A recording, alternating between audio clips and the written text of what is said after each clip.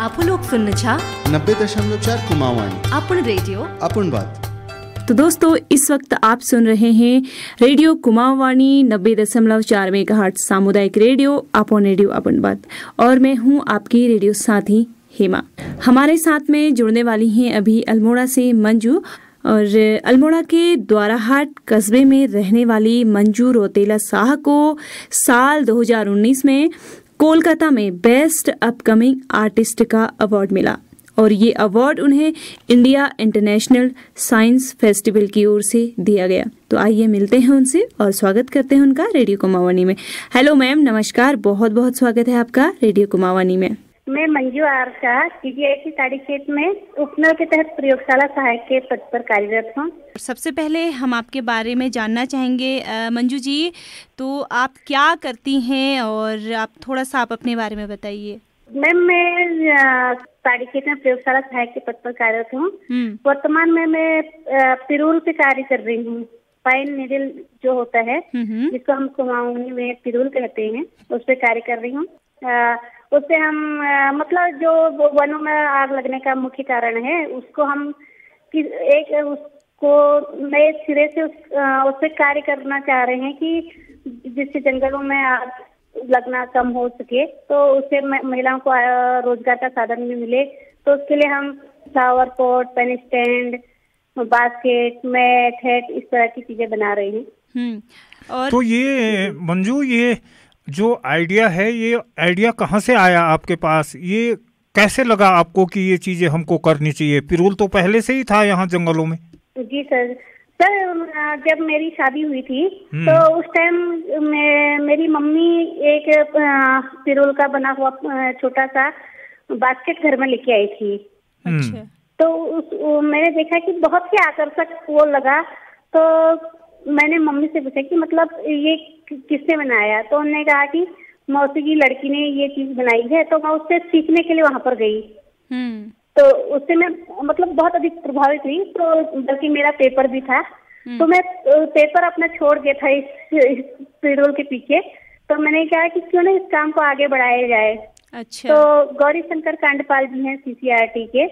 उन्होंने फोर्स किया कि तुम लोग इसको और आगे करो। तो उन्होंने वो प्राचीन जो कलाकार जो सभ्यता संस्कृति खो गई है उसको फिर से जोड़ने का प्रयास करते हैं। हम्म, तो हम्म। उन्होंने मुझे काफ़ी अधिक प्रोत्साहित किया कि तुम इसमें और कर सकती हो और बेटर कर सकती हो। तो हम तब से कंटिन्यू इस कार्य को कर रहे हैं। बिल्कुल।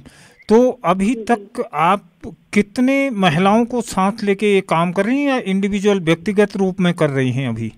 सर अभी मैं महिलाओं को एक मेरी ननद है मुख बधिर है बिल्कुल अच्छा। ना। बोल सकती है सुन भी नहीं सकती है हम्म, हम्म। तो उसको मैं आ, इस कार्य को सिखाया है हम्म। तो उसको सीसीआरटी जो नई दिल्ली से एक कलाकारों हाँ, को हाँ। सम्मान देता है तो उसके द्वारा उसको जूनियर फेलोशिप मिल रही है दस हज़ार रूपए पर मंथ जो है दो साल तक उसको जूनियर फेलोशिप मिलेगी अच्छा आपने इसका प्रशिक्षण कहीं लिया या फिर खुद से ही सीखा मैम ये मैंने अपनी मौसी की लड़की पूजा बिस्ट है पूजा राणा जो है हम्म। उससे सीखा था उसने मतलब शौक के तौर पर सीखा हुआ था। तो मैंने भी उसी टाइम केवल शौक के तौर पर ही सीखा था।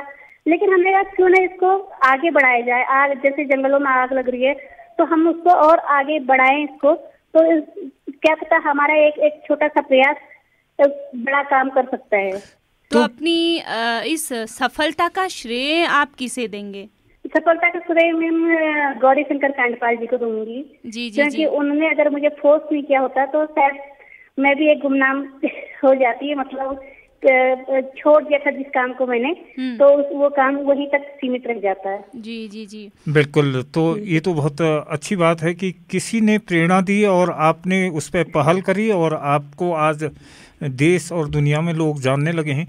इस मिशन को मंजू क्या आप आगे कैसे देखती हैं कि अपने ब्लॉक तक सीमित देखती हैं या अपने तक देखती हैं या आगे का सपना क्या है इस अ, काम को लेकर मैं चाहती हूँ कि अधिक से अधिक लोग करें जो महिला सशक्तिकरण है वो एक ये जो पिरूल है वो महिला सशक्तिकरण का एक साधन बन सके महिलाओं को रोज़गार मिल सके इसमें हम्म। जो महिलाएँ घर में बैठी हुई हैं। तो इसमें मतलब बहुत सारे वो आगे बहुत सारा उनको रोज़गार मिल सकता है।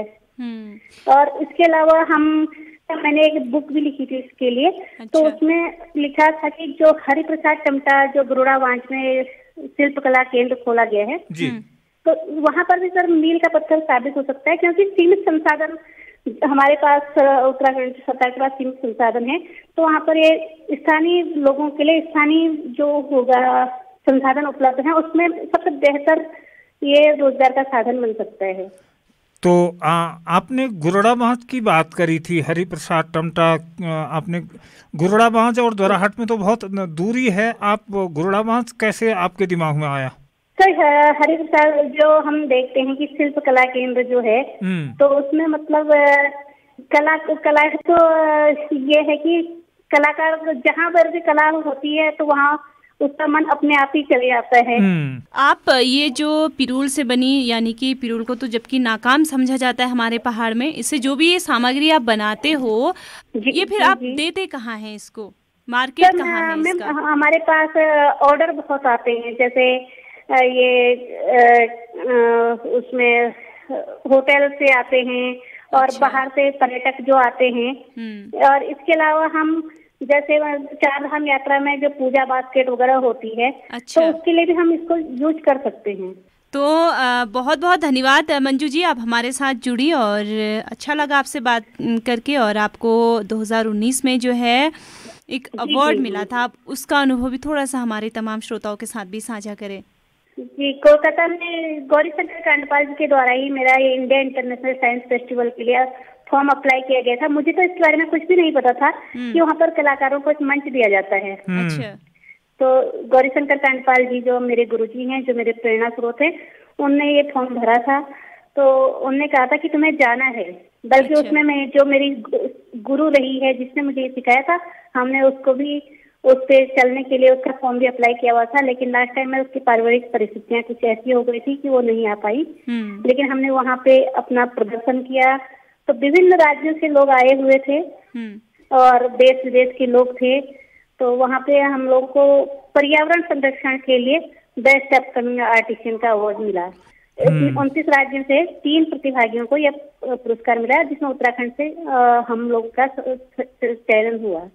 जी बिल्कुल मैं कहना चाहूँगी कि अ, कोई भी कार्य ऐसा नहीं होता है जहाँ पर तो- मतलब आप, आप अपनी लगन से कुछ भी कर सकती हैं। जहाँ हम मन के हारे हार है मन के जीते जीत। दोस्तों समाज में मंजू रौतेला साह जैसी कई महिलाएँ हैं जो पहाड़ को गौरवान्वित करने वाली चुनिंदा बेटियाँ हैं और जिन्होंने विषमतम परिस्थितियों में भी रहकर भी आज इस मुकाम पे पहुँची हैं। मंजू जी बहुत बहुत धन्यवाद। आप हमारे कार्यक्रम में जुड़े इसके लिए आपका धन्यवाद। आप लोग सुन्न छा नब्बे दशमलव चार कुमावाणी आपण रेडिओ आपण बात।